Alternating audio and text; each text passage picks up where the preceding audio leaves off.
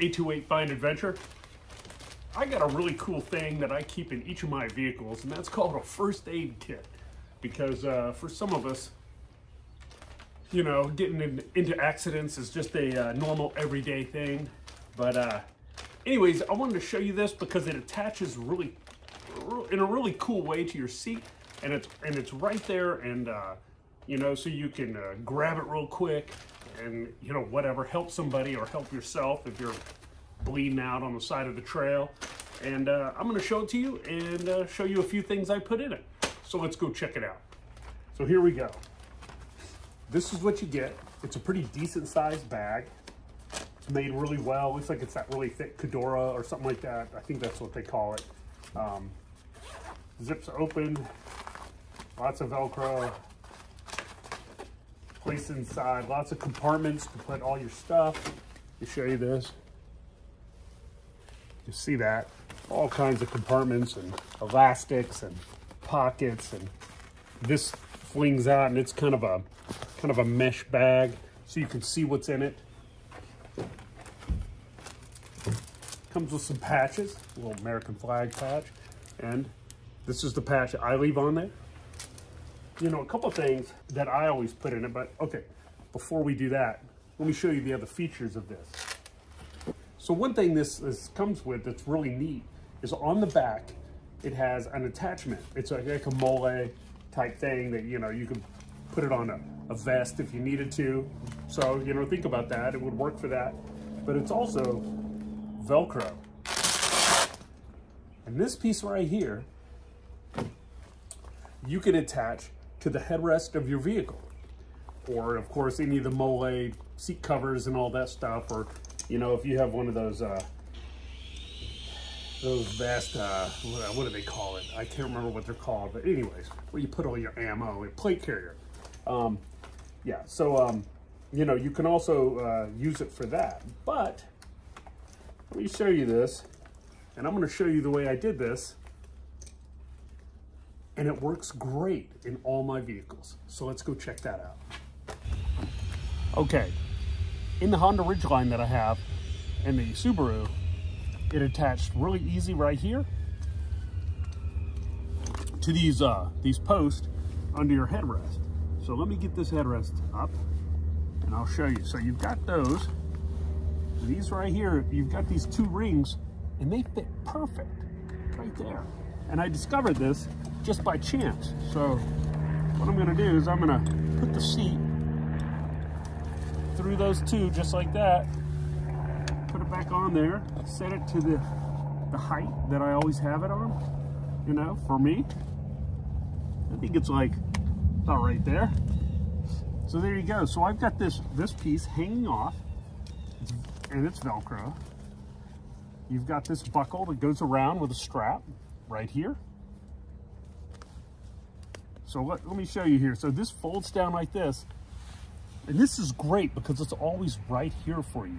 Your first aid kit is right there. You can grab it. You can go help somebody, whatever, patch a little cut on your finger from playing with those fancy knives that the blade pops out or, you know, or whatever you do if you fall down like me.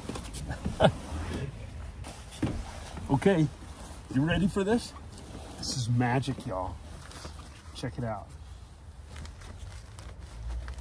Look at that. Inside here, you know, of course, you can have all your stuff. Whatever you need. And then once you get it filled with everything that you want to put in there, this is an adjustable strap. There you go. And it came with these two two uh, two patches here. You can put those on there.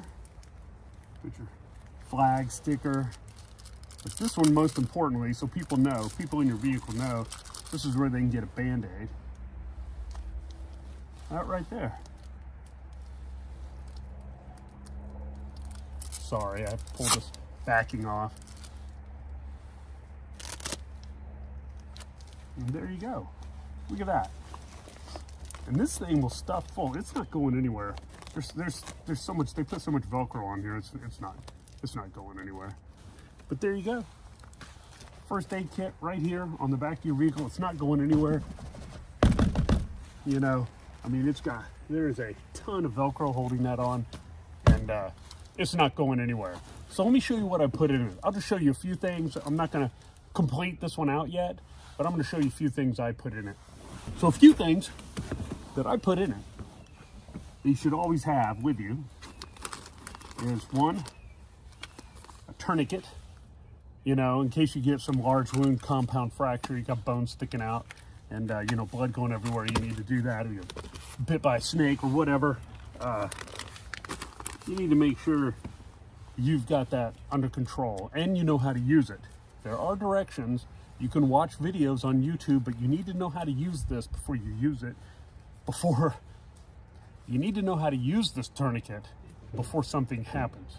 Panicking while, you know, you've got somebody bleeding all over the place, you want to make sure you know how to use this. So that's always something that I keep in my first aid kit.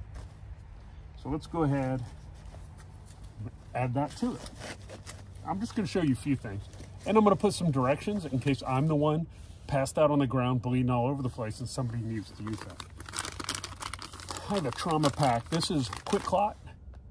I'll put links to all of this um, under the video in the description if you want to check it out, especially this bag here, because it's really handy and works great. So back to the essentials. QuikClot. You always want to have a QuikClot kit. This also helps stop bleeding. Um, you know, this bag here comes with a lot of different things, some gauze and, you know, gloves and all of that. You can buy the QuikClot by itself in little pouches, which I have in the other ones, but and I'll put links to those as well. But, you know, so that goes in there because um, you got to have that. Um, got an emergency thermal blanket in case somebody's, you know, going into shock. That helps keeps their body heat in. Um, a waterproof poncho you can put in there. Um, in my others, I keep, you know, uh, a lot of, um, I keep a pair of scissors, uh, band-aids of all sizes, some um, antibiotic ointment, uh, uh, what do I, what is this, the, uh, Neosporin, I'm sorry, that's what I keep. I keep Neosporin in there in case you get a scrape, you don't want to get infected, you put a little Neosporin on it, usually takes care of it keep some mosquito anti-itch stuff. Uh, what else? Um, you know, good scissors. Oh, I keep some of that um, that tape they use. You know, if you sprain your ankle, it's kind of elastic, rubbery tape. Wrap that around. I keep that in there as well. Uh, but again, most importantly, I just wanted to share with you this this bag that I found and how how awesome it is. Um, you know, just uh, you know, check out the links see if you like it. I believe this bag comes in several colors. Uh, you can also get it in red if you want red. Um, it will fit under the seat in your car as well if you don't want to use the Velcro attachment. But this is the handiest place, especially, you know, in the Ridgeline, the back seat's not as big, or the Subaru, but it still is small enough that it doesn't get in people's way when they're a passenger. Oh, here's something else I forgot to put in there. Um, this right here, this is pretty cool. This is a bleed stop for small cuts. So, you know, this is for minor cuts. Um, and you just want to put a little of this on there. It's like a, like a powder type stuff, uh, similar to what they use um, at the barber. If they nick you with a razor, they put a little stuff on there to stop the bleeding. But anyways, uh, this is just a little stuff. I'll put a link to this as well. It's always good to have one of these in your tackle box or your, you know, anywhere. Just, you know, if your kid falls down and they're bleeding and they're screaming and yelling and complaining, take care of it. Might sting a little at first, but they'll get over it. So, you know, this is some good stuff too. This is called Bleed Stop. So, anyway, so I always have one of those in there as well. You never know. You just don't want to be, you don't want to be stuck out there and bleeding and uh, you don't want that to ruin your trip or you don't want to, it to become something major. Also, you know, you don't want, you don't want, you know, the whole you know, you're out there having a good time and somebody, somebody with you, you know, falls down uh, because they trip over their feet all the time.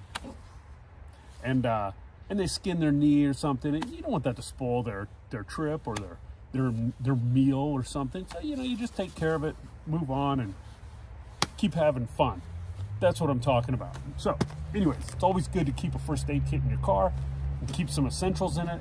I'll put links under the video in the description to everything you see right here. Look at this. And I'm snapping. Comes right off. Look at that. Awesome. This is like even has a little handle here. But anyways, uh, you know, uh, it's pretty cool. See? And there's still tons of room in here to overstuff it. You can put, oh, and also put some Advil or some Tylenol in there, whatever your preference is. Um, you know, just in case, if you, uh, you know, keep the inflammation down in case you uh, sprain your ankle or something like that. But, you know, it's just best to keep, keep whatever you like to keep you happy, you know, and keep you going when you're out there doing stuff. So, there you have it. So I hope you like my video on the first aid bag that you can put behind the headrest on your car or in the trunk of your car or anywhere. I think everyone should have one in their car. So, hope you liked the video. If you would, please subscribe. Please hit the thumbs up button and please comment. Let me know what you keep in your car or if you keep anything or if you don't care. Or better yet, if you have a story about yourself or somebody you know getting hurt while you were out on some adventure. That'd be cool to hear. So so anyways, I just wanted to share that with you. Stay tuned. I do have more videos. I've got a couple of vehicles now I'm trying to rotate out. I do have some more videos on the Tundra. And, uh, and we will see you next time. See ya.